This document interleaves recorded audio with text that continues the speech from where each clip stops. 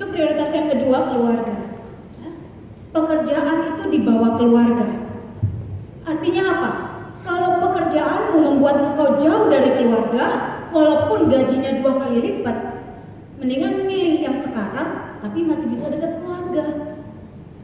Ya, kalau pikiran saya seperti itu. Jadi pekerjaan itu di bawah keluarga.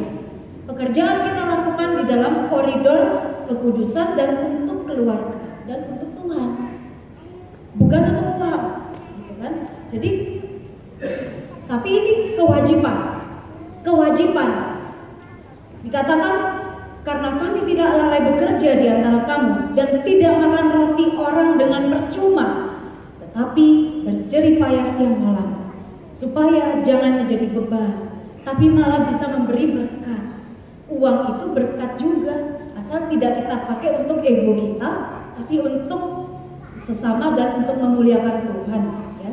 Jadi ini pekerjaan ini kewajiban. Tidak ada orang yang bilang ah nggak usah bekerja karena capek, karena nggak mau bertanggung jawab. Aku mau pelayanan aja. Berarti pelayanan sebagai pelarian. Dia harus pertama-tama memenuhi dulu kewajibannya. Nah, antara pekerjaan dan pelayanan itu tadi. Pekerjaan kita itu juga bisa menjadi pelayanan asal syaratnya apa? Kita lakukan dengan sukacita, sepenuh hati dan kita lakukan seperti untuk Tuhan. Ya. Itu kalau 3 ayat 17 sampai 23 mengatakan seperti itu. Dan segala sesuatu yang kamu lakukan dengan perkataan atau perbuatan jadi di kitab suci tidak pernah dibedakan ya, pekerjaan dan pelayanan, kecuali para imam e, Lewi ya, dia dikhususkan untuk pekerjaan di rumah Tuhan. Tetapi ya tidak pernah dikatakan di dalam kitab suci. Kadang-kadang orang berpikir kalau pekerjaan itu untuk diri sendiri, kalau pelayanan itu untuk Tuhan. Kadang-kadang kita membedakan seperti itu. Tetapi kalau kita lihat dalam Kolose 3 ayat 17 sampai 23, segala sesuatu, segala sesuatu termasuk pekerjaan kita. Ya, ya kamu lakukan dengan perkataan perbuatan, lakukanlah semuanya dalam nama Tuhan Yesus. Sambil bersyukur, maka berkat akan datang. Kalau kita banyak bersyukur, berkat itu datang. Coba kita jaga toko dengan senyum, dengan melakukan yang terbaik untuk orang lain seakan-akan ada Yesus di dalam diri orang itu maka pasti pelanggan kita banyak berkat kita akan melimpah-limpah ya kan nah apa pun yang kamu perbuat perbuatlah dengan segenap hatimu. Nah ini syaratnya ini ini.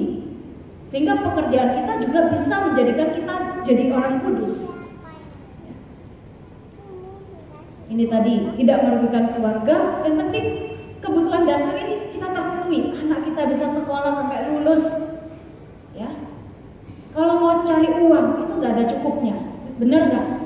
Udah punya rumah lima masih kurang maunya sepuluh lah kalau kita udah punya rumah lima masih nyari sepuluh memang kita nggak bisa punya waktu banyak untuk melayani tapi kalau udah punya rumah dua anak udah siap untuk sekolah sampai selesai kita berarti adalah orang-orang yang begitu beruntung. Karena apa? Karena kita masih bisa melakukan yang keempat ini. Pelayanan dalam arti yang sempit, yaitu apa? Perbuatan yang kita lakukan untuk orang lain atas nama pekerjaan Tuhan. Nah, itulah pelayanan dalam arti sempit. Tapi pelayanan dalam arti luas itu apa? Segala sesuatu yang kita lakukan dan kita perbuat dengan segenap hati, dengan sukacita seperti untuk Tuhan. Berarti pekerjaan di rumah tangga, pekerjaan di kantor, itu bisa menjadi satu pelayanan dalam arti luas. Ya.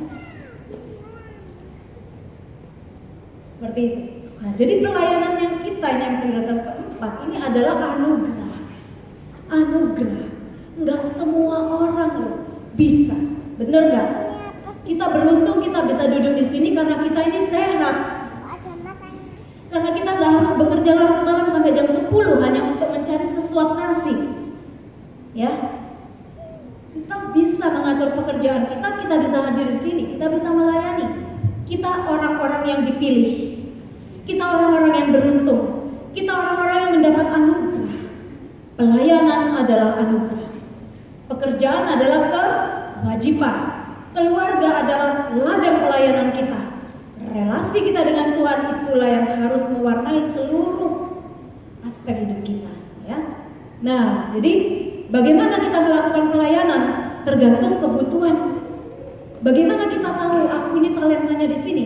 Kalau orang minta kita WL, orang minta kita bawa firman, dan kemudian ada peneguhan, ah tadi waktu kamu WL saya merasa sangat diberkati.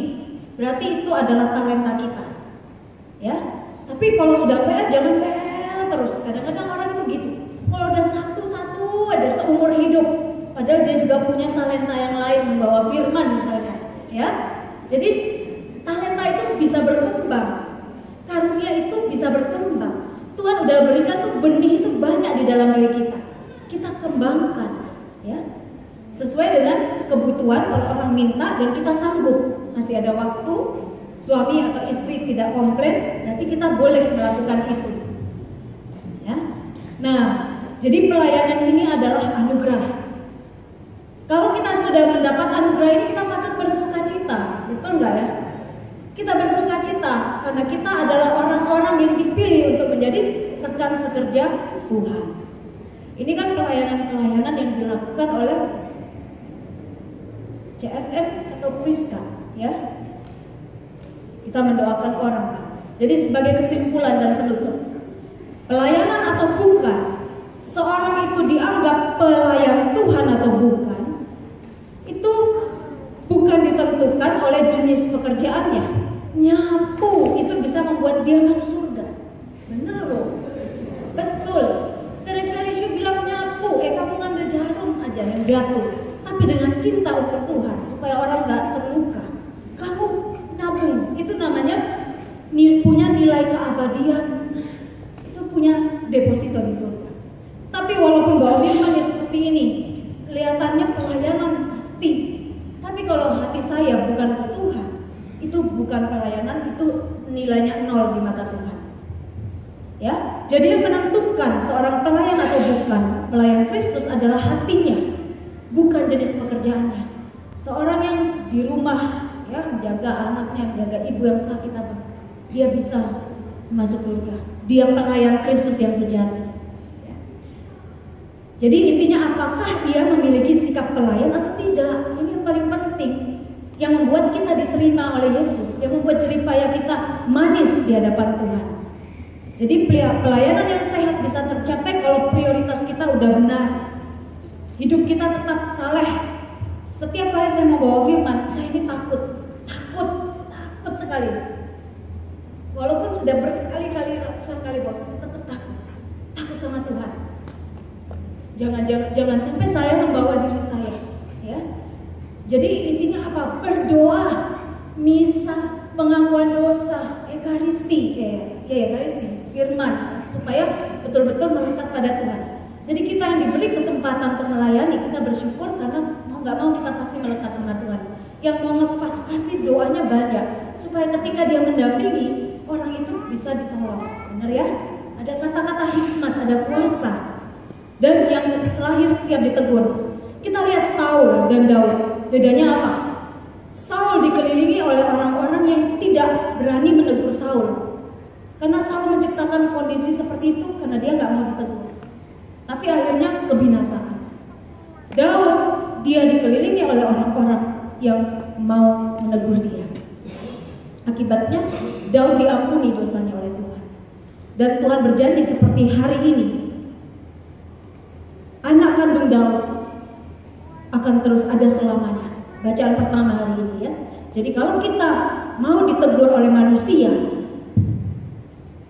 Daud kan ditegur ya waktu dia berbuat dosa dan dia mau bertobat. Kalau kita mau ditegur oleh manusia, maka kita juga lebih mudah ditegur oleh Tuhan. Amin. Mari saat ini kita mau tutup, kita mau persembahkan segala niat-niat kita kepada Tuhan.